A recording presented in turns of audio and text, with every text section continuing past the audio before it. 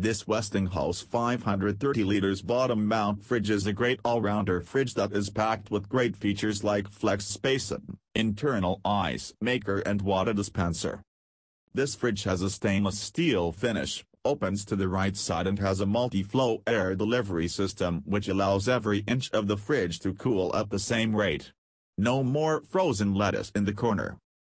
The best features, exclusive to Westinghouse, are Flex Space and Flex Storage. They are both designed to give you the maximum benefits from your storage space, so you have more room for the things you love to eat and drink.